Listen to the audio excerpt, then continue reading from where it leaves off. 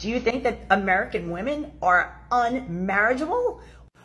Oh, this one's probably going to get banned, but I'm going to answer the question because she is asking a legitimate question, and I love that she is, to be honest with you, but I know my answer is going to trigger some people. The answer is yes, American women have become unmarriageable. And it's not really for the reasons you're talking about. You talk about being promiscuous and all that. Honestly, I could care less what somebody does. What it is, is they don't respect us. They don't respect us as men. They don't respect us as human beings. They have this preconceived notion of what we're supposed to be, which is perfect. They have all their criteria that no man could ever meet. And even if he managed to, they'd create new criteria that, again, he could never meet. So, yes, marriage is done. We've walked away. Dating is done. We're done. That's where it's at. Enjoy. Why men won't leave a marriage if they're unhappy? I've been asked this question a lot from women, and here's the honest truth coming from a man who once was in an unhappy marriage. Number one, we love our children. We would sacrifice our happiness any day of the week just to be near our kids and tuck them into bed. Another reason is they know that they'll be financially ruined if they leave. Even if they were the world's greatest husband, most courts will deem the benefits of the divorce to the ex-spouse by giving her alimony or child support, leaving him in a dire financial situation, which he will be crippled for the next 5 to 18 years. And last, truthfully, deep down we still love our wives. And we want things to be better. What does a guy get from a, a, woman that he couldn't get from a cook, a cleaner, and a hooker? So this is what internalized misogyny looks like. This woman jumped out there and said the only thing that women bring to the table are cooking and cleaning and intimacy. See, pick-me's have to exist so that men can have women to point to and say, see, it's not just us. Women feel like this too. She don't represent us. Hey, sorry, who lives longer, married men or single men?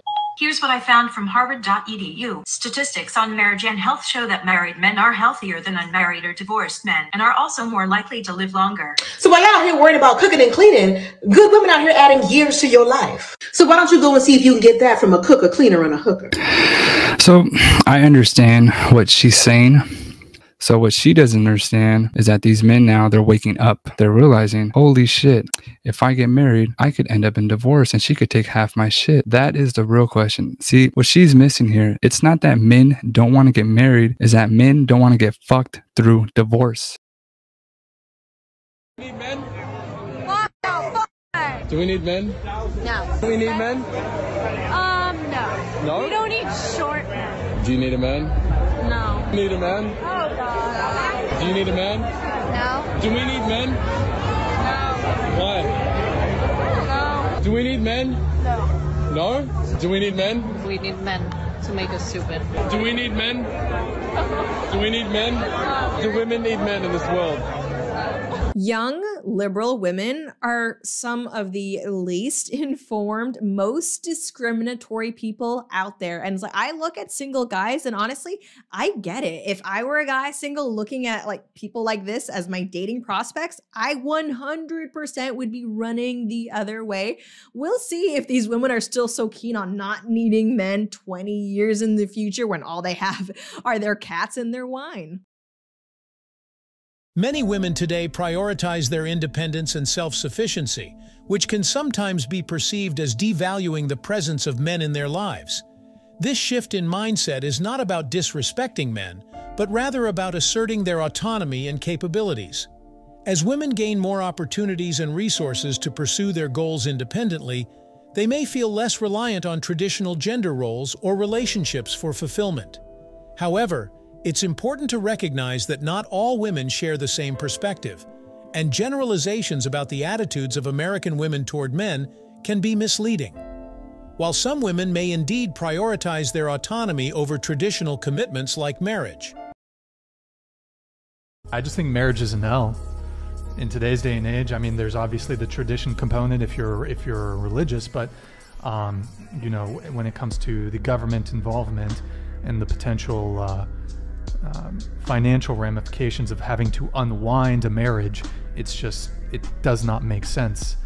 Uh, so don't get married, guys. Don't do it. Um, you do, uh, but you could have a life partner, for example, but you just don't want you don't need the government involved in Exactly that. right. Yep. Okay. And uh, fully wants the whole white picket fence. We are husband and wife, but I just don't feel the need to go and sign some paper that Mm. lets them know that we are. While the concept of a life partner appeals to some, many are wary of the legal implications, particularly the potential for unintentionally entering a common law marriage without a formal contract. Avoiding this pitfall requires careful consideration and proactive steps. Couples can establish clarity by outlining their intentions and expectations through written agreements, such as cohabitation agreements or partnership contracts. These documents can specify the terms of their relationship, including property ownership, financial responsibilities, and what would happen in the event of a separation. Additionally, maintaining separate finances and assets can help distinguish the relationship from a common law marriage in the eyes of the law. Men are reluctant to do so. Women are not desirable right now. Everyone's a Kim Kardashian clone. I asked you earlier, what, what don't men want? And you said promiscuity. Well, that seems about the only thing that's being offered right now. when I open my Instagram and I've got butt cheeks and I'm going, people are like, I don't understand why no one wants to, this woman's been married four times. I'm like, well, I can, I can understand it because even if men think they want it in the short term, when you see a girl, she's half naked, she looks good. Yeah, sure. You probably do want to have sex with her. I bet you're wired that way. You're Yeah. hardwired that way. Yeah. But then what happens after you, after you have sex with her and you realize that so did uh, 20 other dudes 100%. in the same week, you don't want her. You nailed it. You Yeah. absolutely not only nailed Me calling my ex husband while we were separated because I was having a panic attack and he was my safe person. Him coming to pick me up even though I was the one divorcing him. I completely understand this. I did it several times. I struggle with the sadness of the decision, but it was needed. So your ex-husband is needed, but he's your ex-husband. Mine didn't come. I go through them alone now, and it hurts every time. There is a disconnect happening where women are leaving their men yet expecting them to stay and keep performing their husbandly duties. Do you think if he called her having a panic attack that she'd even pick up the phone? Being expected to constantly provide and care for people who have given up on them is not good for men's souls and their growth. It is beating them down mentally. Even if it's not your intention, it is so incredibly manipulative to break up with a guy and then expect him to console you through the breakup. In contemporary society, the landscape of marriage is evolving, marked by shifting gender roles and complex dynamics. Men, increasingly cautious, delay marriage due to fears of intimacy becoming a weapon against them. Concurrently, women, empowered by feminist strides, adopt traits traditionally associated with masculinity, while men explore aspects of femininity. This metamorphosis challenges conventional notions of gender and complicates the feminist agenda, which once focused on basic rights like suffrage and economic independence. Yet, feminism's evolution has sparked controversy. Some perceive it as having transcended its original goals, morphing into a supremacist force bent on dismantling Western civilization. Critics argue that toxic manifestations of feminism contribute to the disintegration of nuclear families, leaving a trail of broken lives and shattered finances in their wake. The toll of toxic marriages on men's well-being and prosperity is palpable, fueling skepticism about the institution of marriage itself. Amidst this turmoil, a proposed solution emerges a formalized written contract outlining the terms of partnership before marriage. This approach seeks to mitigate the risks associated with assumptions about rights and responsibilities.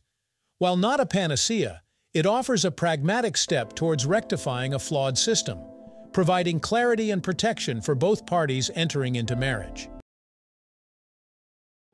You know, guys, the key to happy marriage is simply realizing that sometimes you have to think outside the box. For example, next time you can't agree on what to do for the evening, simply start getting undressed. Your wife will immediately get a headache and fall asleep. and you're free to do whatever you want. Write that down. You know, guys, if you want to build a long, healthy, trusting marriage, you have to learn how to problem solve together. For example, the next time you're driving the family somewhere your wife's vehicle starts making that absolutely terrible noise, simply look over at her and ask her to stop talking. That should fix it. Write that down. The question that we're asking today, and this comes from a New York Times article, is do women need men? Audience, do we need men? Wow, they didn't seem very enthusiastic. Some of them didn't even clap. Some of them didn't want to clap. Wa- Wow, come on, at least, you know, put your backs into it. Just like a woman. Uh, no motivation at all. Then women wonder why men are walking away. Please. We're, we're gonna go toe to toe on this because the article, the article does. That was less than overwhelming. Yeah. I, I was trying to ignore it. I was like, I was really, I was, come on, everybody. It's a really Help slow me out here.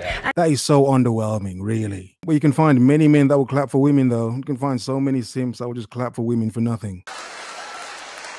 You gonna put your hands together? You better stomp your feet and light a match for this pussy, goddammit. Absolutely nothing. Anyway, according to this article uh, in the New York Times, it says that men are becoming obsolete biologically. Here's a quote If men were cars, who would buy the model that doesn't last as long? Say the same thing about women.